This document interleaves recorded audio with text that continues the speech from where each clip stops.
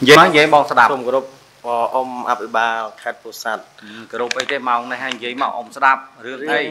រឿងលបងនៅខាងពូនដោតអមនៅលបងពូនដោតបាទលបងនឹងយ៉ាងម៉េចបងហ្នឹងខាងឈ្មោះលោកគ្រូឡចន្ទថាហ្នឹងបានដាក់ពីបណ្ដឹងទៅតុលាការថាក្មួយបានធ្វើដោយខូចខាតដោយចេតនាហើយតុលាការបានចេញសាលក្រមមកឥឡូវឲ្យក្មួយហ្នឹងសងសំណង10លានរៀល ហើយហើយកូនឯងមានបានធ្វើអញ្ចឹងមែនទេតែអត់ធ្វើឲ្យបានធ្វើផងឡំហ៎អត់អត់បានធ្វើទេឡំកូនអត់បានធ្វើទេបាទបាទអើបើកូនអត់បានធ្វើមិនគេប្តឹងប្តឹងចូលតុលាការវារឿងវាចូល3ឆ្នាំអមហឹមបើកូនអត់បានធ្វើមិនគេប្តឹង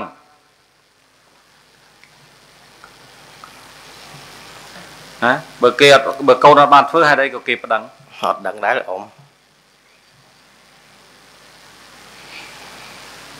មើលបងឡោចន្ទថាយ៉ាងម៉េចរឿងហ្នឹងមើលបងប្រាប់ខ្ញុំមើលវាយ៉ាងម៉េចបាទសំគ្រប់អាយដាមបាទបាទដែលរឿងហ្នឹងបានជាខ្ញុំដាក់ពាក្យបណ្ដឹងរឿងវាយូរឆ្នាំហើយអាយដាមរឿងតាំងពីឆ្នាំ2018មកម្លេះបាទពេលដែលខ្ញុំឆែកព្រំបតលដីដកព្រំបតលខ្ញុំចោលបាទហើយពេលដែលខ្ញុំធ្វើរបងបាទធ្វើផ្ទះបាទ ខ្ញុំចង់វាយអញ្ជៀងផ្ទះចាស់ខ្ញុំចោលព្រោះថាធ្វើចង់ធ្វើរបៀបផ្ទះល្វែងជាប់គ្នាអត់ឲ្យខ្ញុំធ្វើខ្ញុំធ្វើក្នុងអញ្ជៀងផ្ទះចាស់ដល់ធ្វើទៅនឹងឈានទៅដល់ការបំផ្លិចបំផ្លាញផ្ទះសម្បែងរបស់ខ្ញុំបាទដូចជាខួងសសរផ្ទះចោះអញ្ជៀងផ្ទះបាទហើយឡានធំធំដឹកឈើចូលធ្វើឲ្យប្រេះស្រាំជញ្ជាំងផ្ទះរបស់ខ្ញុំបាទហើយខ្ញុំក៏បានដាក់ពាក្យបណ្ដឹងចូលស្ថាប័នតុលាការបាទ ហើយស្ថាប័នតុលាការបានជំរះរឿងនឹងរហូតទៅដល់រឿងអនុវត្តសាលក្រមបាទអាដាមដល់ពេលអនុវត្តសាលក្រមទៅ បាទបានម្សិលមិញហ្នឹងខាងអភិបាលក្រុងគាត់ឲ្យខ្ញុំទៅដោះស្រាយនៅក្រុងពោធិ៍សាត់បាទហើយដល់ថ្ងៃនេះគាត់ឲ្យខ្ញុំមកនេះទៀតខ្ញុំមិនដឹងដោះស្រាយមិនព្រោះរឿងនីតិវិធីរបស់តុលាការកំពុងឥឡូវមើលបងសួរឯងដំណើរការបាទតើកូនក្មួយយើងវាបានធ្វើអញ្ចឹងមែនទេព្រោះ ធ្វើអញ្ចឹងមែនឯកឧត្តមព្រោះថាចុះស្នាឯងមមិនផ្ទះបានខ្ញុំធ្វើមានអអញ្ញ្ចឹចឹងងមែមែននទេបើឯកឧត្តមជាប់ពិនិត្យមើលជាអក់មឿស្ដែនងទៅអមឿនកន្លងមកបានអញ្ចឹងមែនទេ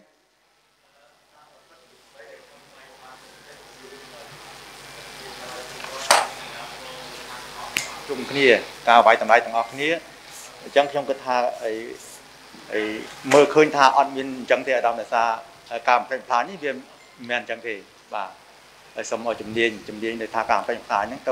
បង្ហាញហើយអញ្ចឹងហើយគិតថាអត់ទេគាត់ថាឃើញស្នាស្វាហ្នឹងស្នាស្វាមែនស្នាស្វាហ្នឹងប៉ុន្តែមិនដឹងថាអ្នកណាស្វាម្ចាស់ផ្ទះស្វាឬក៏ប្អូនអ្នកស្វាទេអ្វីដែលខ្ញុំបានអីឲ្យឃើញបាទសូមសូមបញ្ចប់ប៉ុណ្ណេះអាដាមបងបងចង់សួរអ្វីអារឿងខ្លះគួរលើកលែងគ្នាបានលើកលែងទៅវាមិនវិញដែលខ្ញុំអត់ចង់ទេឯកឧត្តមប៉ុន្តែរឿងវាដដែលដដែលពេកឯកឧត្តមឥឡូវមើលវាដមិនដែលបំផ្លិចបំផ្លាញតែដដែលដដែលពេកឥឡូវចេះបាទឥឡូវរឿងហ្នឹងចែកមើល រឿងហ្នឹងបាច់ឲ្យខ្ញុំចុះទៅមើលផ្ទាល់តើស្នាមមើលពិតប្រកបពិតប្រកបហើយចាំខ្ញុំធ្វើការមួយខាងស្ថាប័នច្បាប់រឿងចេះដើមសុំសុំបន្តិចទៀតដោយសាររឿងនេះហើយអាចដោះចប់ហើយមូលហេតុឲ្យដោះចប់ហ្នឹងគឺដោយសារប្អូននេះព្រមព្រៀងបងលុយបងលុយជូនឲ្យ10 10លានរៀលនេះអត់ឲ្យលោកគ្រូស្បត់ទទួលយកថាបើសិនជាឲ្យទទួលយកការ10លានរៀលនេះទៅប្រកាសជាប្អូននេះបានបំផ្លាញមែនគាត់ចង់តែប៉ុណ្្នឹងឯងគាត់គាត់សុខចិត្តបកលុយជូនអញ្ចឹងណាអាយដាមឲ្យតែ ឥឡូវ គាត់ ឥឡូវឯងចោតគេថាគេបានវាយមែនឥឡូវប្អូនខាងនេះសុកចិត្តថាសំណងប្អូន10លានតាមអ្វីដែលការសម្រេចណា បាទបាទ អើប៉ុន្តែប្អូនត្រូវទទួលស្គាល់នៅអឺដែលប្អូនបានចោតគេហ្នឹងប្អូនស្បត់ប្អូនខាងនេះចង់បានស្បត់តើឯងហ៊ានស្បត់ទេ ខ្ញុំធ្វើបានតែចំពោះសាលក្រមរបស់តុលាការបាទព្រោះសាលក្រមរបស់តុលាការធ្វើមិនខ្ញុំធ្វើតាមអញ្ចឹងបាទ กระดาษមកស្លឹកជួនកាលវាអត់មានចរិតគុណធម៌ទេ ប៉ុន្តែអ្វីដែលគុណធម៌ពិតប្រកបគឺក្នុងបេះដូងឯងនេះបាទឯកឧត្តមប៉ុន្តែបើឯងនៅក្នុងបេះដូងឯងវាមានចរិតគុណធម៌ពិតប្រកបមែនឯងហ៊ានស្បត់ចំពោះមុខគេហើយអានឹងបានបងថាឯងនឹងពិតប្រកបមែនរឿងចេះអាដាមខ្ញុំជូនជម្រាបជូនអាដាមចេះរឿងដែលខ្ញុំប្តឹងនេះគឺខ្ញុំប្តឹងម្ចាស់ទីតាំងដែលគ្រប់គ្រងអាជីវកម្មលក់ឈើអាដាមបាទព្រោះដែលដីខ្ញុំ ខ្ញុំថាបើយល់ល្អសូមឥឡូវបងសួរសិនអាដាមចុះឯងឯងប្តឹងទីតាំងប៉ុន្តែហេតុអីក៏ប្អូននេះមកប្តឹងខខ្ញុំខ្ញុំប្តឹងទៅតុលាការតាអាដាមហើយតុលាការចេញតែការអឺចេញតែសារក្រមស្ថាពរឲ្យខ្ញុំតើបាទខ្ញុំអត់មានមកប្តឹងនៅនេះណាអាដាមបាទទេខ្ញុំបងដឹងតុហើលាយការរួចហើយប៉ុន្តែឥឡូវប្អូននេះវាមកនេះវាថាវាឲ្យអ្វីដែលជាការសម្រេចរបស់តុលាការប៉ុន្តែឲ្យឯងស្បត់ឯងចោតគេនឹងតើវាពិតប្រកបទេឯងស្បត់មួយម៉ាត់ទៅគេគេចេញលុយនឹងឲ្យហ៎ ឲ្យខ្ញុំស្បត់រឿងអីអាដាមដល់ដល់ពេលដល់អញ្ចឹងខ្ញុំដូចវាឆ្ងល់ដែរដល់ថាថ្ងៃនេះហើយម្សិលមិញហើយមកដល់ថ្ងៃនេះឲ្យខ្ញុំស្បត់រឿងអីគេឥឡូវព្រោះឯងឥឡូវឯងចោតប្រកាន់គេរឿងអីខ្ញុំចោទប្រកាន់ម្ចាស់ទីតាំងហ្នឹងអ្នកបំឥឡូវឯងម្ចាស់ទីតាំងមែនទេរបស់បាទរបស់ខ្ញុំកូនលោកអ៊ំបំផ្លិចបំផ្លាញរបស់របស់ខ្ញុំបាទប៉ាម៉ាក់ខ្ញុំឈឺអស់ហើយអើឥឡូវឯងគិតទៅឯងគិតទៅឥឡូវបើឯងចោតគេថាគេបំផ្លាញទ្រព្យសម្បត្តិឯងមែន ណាគេសុកចិត្តចេញខាតឲ្យប៉ុន្តែឯងត្រូវស្បត់ថាឯងពិតជាបានឃើញថាគេប្រព្រឹត្តអញ្ចឹងមែនរឿងខ្ញុំអេដាមដែលវា3ឆ្នាំជាងហើយតាំងពីឆ្នាំ2018មកម៉េះបាទរឿងការដកបកគោលព្រំអីអេដាមអញ្ជើញសួរលោកមេភូមិទៅគាត់ទៅធ្វើកំណត់ហេតុឲ្យខ្ញុំហើយមើលឥឡូវខ្ញុំបាទសួរមើលបងមើលវាមែនរឿងអហ្នឹងត់សំណុំរឿងវាវាការមិនបងប្រាប់អត់ខ្ញុំតិចមើលបាទអឺអីថ្ងៃនេះមានមេភូមិអញ្ជើញមកហើយមានក្រុមប្រឹក្សាហើយមានលោកអាចបាក្រុងអីទាំងអស់ អីអ្វីដែលញ៉ែខ្ញុំហើយសូមបញ្ជាក់ថាខ្ញុំហើយសមាជិកក្រុមសាខេត្តខ្ញុំឈរនៅលើឲ្យពលរដ្ឋបាទនៅលើពលរដ្ឋអ្វីដែលខ្ញុំបានពិគ្រោះយោបល់ទាំងអស់គ្នាដោយសារពលរដ្ឋយើងនឹងមើលឃើញថាគាត់ជាមនុស្សល្អម្នាក់ចឹងហើយខ្ញុំមិនគិតគិតថាបងអូនប្រុសនេះដែលគាត់សម្រេចចិត្តថាបងលុយ10លានហ្នឹងមូលហេតុទី1គឺឪពុកម្ដាយខ្វាន់ខ្វងបាទខ្វាន់ខ្វងហើយទី2ទៀតខ្ញុំបានទៅជួបជាមួយនឹងម្ដាយគាត់គាត់ថាគាត់លំបាកក្នុងជីវិតរបស់គាត់អញ្ចឹងគាត់ទៅចាប់រឿងហ្នឹង ចាប់រឿងហ្នឹងអញ្ចឹងហើយខ្ញុំគិតថាខ្ញុំឈរនៅលើពលរដ្ឋអញ្ចឹងហើយការឯកភាពគ្នានេះហើយសូមឲ្យលោកអាបាក្រុមជួយជួយជួយឥឡូវខ្ញុំចង់សួរបងថាបងឈរជំហរលើពលរដ្ឋហើយអ្នកណាក៏ឈរលើពលរដ្ឋដែរបាទតែខ្ញុំឲ្យបងឈរលើអង្គើយុទ្ធធរតើពីរហ្នឹងមួយណាត្រឹមត្រូវមួយណាខុសអ្វីដែលត្រឹមត្រូវភ្នែកខ្ញុំបានទៅមើលឃើញជើងខ្ញុំបានដើរដល់តែជាខ្ញុំបានស្ដាប់ហើយការស្វាននោះគឺស្នងស្វានគឺស្វានគឺមើលសឹងតែមិនឃើញទេ អញ្ចឹងជំរូហ្នឹងអ្វីដែលខ្ញុំបានទៅពិនិត្យហ្នឹងជំរូប្រហែលជា4ហ៊ុនបាទស្វានស្វានដាក់ទីហើយការប្រេះនោះគឺប្រេះនោះប្រេះដីស្រះដែលគាត់ចាក់ដីចាក់ដីបញ្ចូលទៅក្នុងដីអឺអឺរបងផ្ទះនោះអញ្ចឹងការប្រេះនោះគឺប្រេះធម្មជាតិនេះដែលខ្ញុំសម្រាប់ចាត់ថាខ្ញុំឈរនៅលើហើយភាពត្រឹមត្រូវបាទកូនក្មួយយើងត្រូវឈរលើភាពត្រឹមត្រូវសូមគោរពអាដាមខ្ញុំសូមកាត់ប្រសាសន៍អាដាមបន្តិចបាទដែលនេះដូចថាលបឈ ដែលដែកបាទដាក់ខ្សែភ្លើងអញ្ចឹងគោយន្តដឹកឈើមកខ្ទាស់អាខ្សែខ្ទាស់អាដែកហ្នឹងបាក់អញ្ចឹងបាទអាដាមហើយនេះ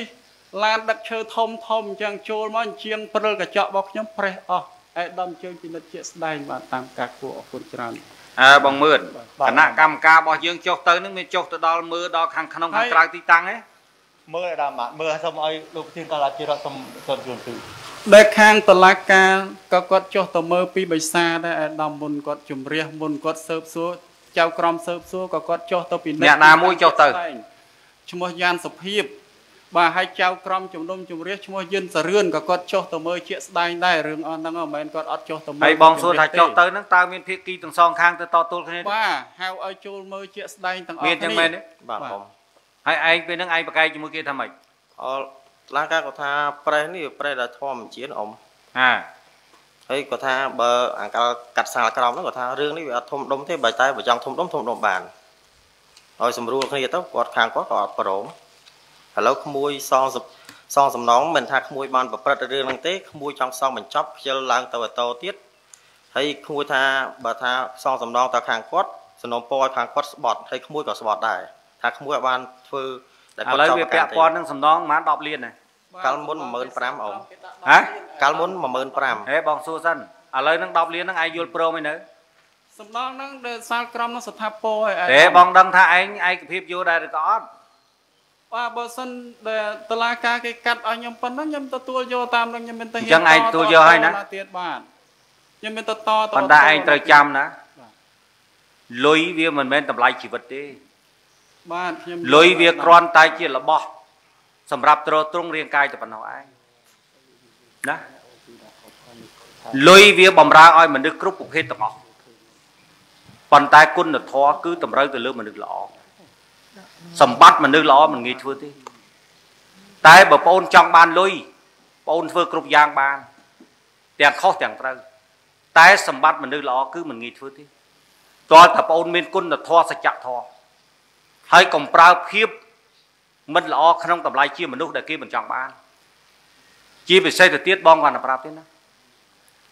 ពេលដែលយើងក្រយើងត្រូវប្រឹងឲ្យមាន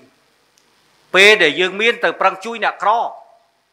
មិនមែននៅពេលដែលយើងក្រប្រឹងឲ្យមានហើយពេលដែលយើងមានហើយយើងយកជើងមកជន់ឈ្លីអ្នកក្រនោះទេ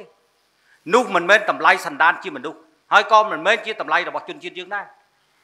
ការយកប្រៀបជាមួយនឹងអ្នកទុនខ្សោយបានសេចក្តីថាយើងជាមនុស្សដេរឆាន អូនឯងចាំខ្ញុំចាំបានខ្ញុំអាយុក្បែរ50ខ្ញុំចាំហើយបាទអូនឯងអាយុតិចជាងបងហើយផឹកទឹកត្រីក៏តិចជាងបងដែរបាទកុំនិយាយដល់ដល់ផឹកទឹកសុទ្ធរឿងនេះបងតាមដានរហូតតាំងពីបណ្ដឹងពីដើមរហូតមកទល់ពេលនេះបងដឹងថាប្អូនខាងនេះស្ថានភាពរបៀបម៉េចជីវភាពនិងតម្លៃក្នុងសង្គមប្អូនឯងក៏បងដឹងថាស្ថានភាពជីវភាពនិងតម្លៃក្នុងសង្គមប្អូនឯងយ៉ាងម៉េចក៏បងបានដែរ គាត់តែបងផ្ដាំទេក្នុងឋានៈជាបងម្នាក់នៅក្នុងខេត្តនេះសម្បត្តិមនុស្សល្អមិនដែលមិនអាចមិនងាយធ្វើកើតទេហើយមរតកនៃជីវិតរបស់មនុស្សគឺគុណធម៌សច្ចធម៌សច្ចភាពមិនមែនមហិច្ឆតានិងសេចក្តីលោភលន់ទេបាទគាត់បងប្រាប់ប៉ុណ្ណឹង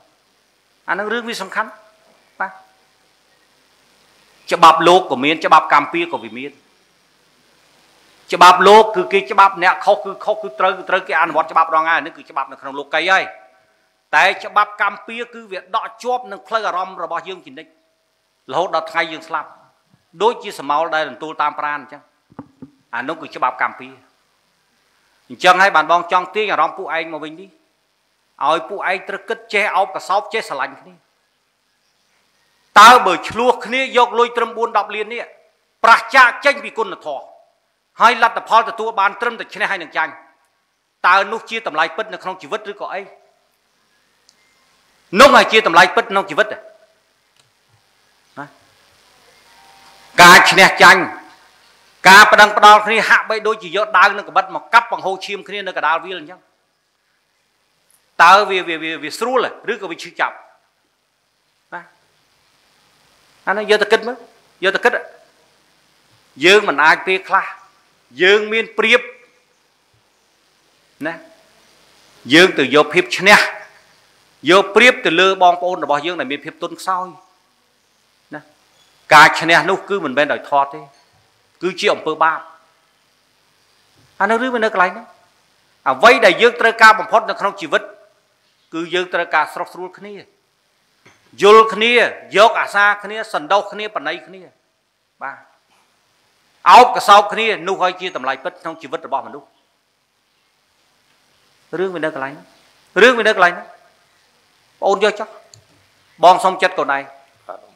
បើសិនជាសាធិការសម្រាប់ថា10លានកូនមិនបាច់ឲ្យគាត់ស្បត់ទេអ៊ំសុំឲ្យគាត់ចោះហើយបញ្ចប់រឿងហ្នឹងបាទអ៊ំអ្វីដែលគាត់បានធ្វើពិតប្រកបមិនពិតប្រកបគឺគាត់បានដឹងនៅក្នុងបេះដូងគាត់រួចហើយបាទបាទអ្វីដែលជាការពិតគឺនៅក្នុងបេះដូងគាត់កូនមិនមែននៅក្នុងស្លឹក กระดาษមួយស្លឹកហ្នឹងទេកូនឯងជឿសម្ដីអ៊ំចោះតើ10លានកូនឯងខ្វះប្រមាណអ៊ំជួយអត់អីទេអ៊ំក៏តែក៏ក្មួយសហ្នឹងក៏ឲ្យតាតឡាការគេចាប់ខ្លួនអញ្ចឹងឥឡូវបានមកមឿនបើសិនជាកូនក្មួយរបស់យើងវាសម្រាប់អញ្ចឹងចូលរួមការងារការពីជាមួយវាណានាងណាការពីចោះហើយកូនយកចង់ឲ្យសុំអ៊ំថាពេលសឲ្យឲ្យគេធ្វើกระดาษស្នាមកុំឲ្យមានរឿងលោកក្រោយទៀតអត់អីទេកូនចោះកូនឲ្យចោះ បើសិនជាក្នុងសំណុំរឿងហ្នឹងវាតម្រូវការប្រព័ន្ធហើយបើកូនខ្វះកូនប្រាប់អ៊ំបាទណាអ៊ំជួយកូនកូនខ្វះឬក៏អត់អត់អត់អីទេអ៊ំបើកូនមិនអីទេកូនសងចោះហើយបញ្ចប់សំណុំរឿងនេះតើនេះកូនបាទណាបងយកចោះបើសិនជាតម្លៃនៃមនោសញ្ចេតនាដែលមានជាមួយគ្នាកន្លងមកហើយវាមានតម្លៃស្មើនឹង10លាននេះបងយកចោះបងយកទៅបងយកចោះហើយបើសិនជាកូនក្មួយខ្វះប្រាប់អ៊ំ អ៊ំមានលទ្ធភាពខ្លះអាចជួយកូនបានបងយកចោះ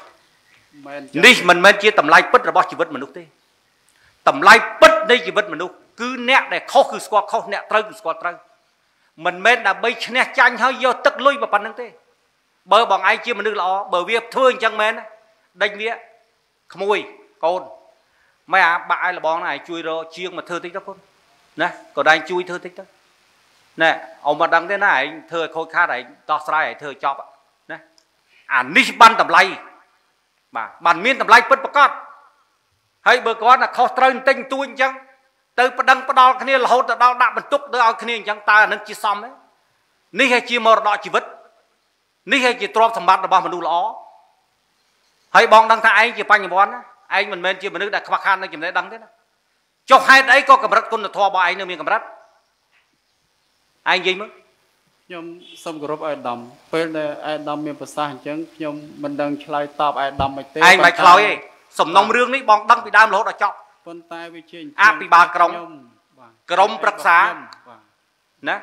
អ្នកមុខអ្នកការនៅទីនេះដែលជាសេនាធិការឲ្យបងសម្រាប់រាយការណ៍នឹងចុះត្រួតពិនិត្យគេបានរាយការណ៍ត្រួតពិនិត្យរួចហើយសំណុំរឿងទាំងអស់ជាសុខទុក្ខរបស់បង នៅក្នុងប្រជាពលរដ្ឋដែលមានលើទឹកដីខេត្តនេះ ជាគ្រួសាររបស់បងតន់អញ្ចឹងបងមិននិយាយទេប្អូនផ្អែកទៅលើกระดาษមួយស្លឹកនេះសម្រាប់អញ្ចឹងហើយប្អូនយកចោះ10លានកូនខ្វះកូនប្រាប់អ៊ំបើកូនមិនខ្វះទេកូនឲ្យហើយបញ្ចប់សំណុំរឿងនេះលោកអភិបាលក្រុងអនុវត្តណាតាមអ្វីដែលជាការសម្រេចដែលបងប្រុសគាត់បានឈ្នះឲ្យគាត់យកចោះតន់ទេហើយកូនឯងថ្ងៃក្រោយកូនឯងធ្វើអីដោយការប្រុងប្រយ័ត្នបំផុតបាទអ៊ំបាទតន់បាទតែប៉ាត់រឿងវានៅកន្លែងនេះ អត់អង្គមកយកអ៊ំអ៊ំឲ្យហូបអត់អីទេតន់ណាកូនបាទប៉ុន្តែកូនត្រូវដឹងថាធ្វើជាមនុស្សក្នុងនាម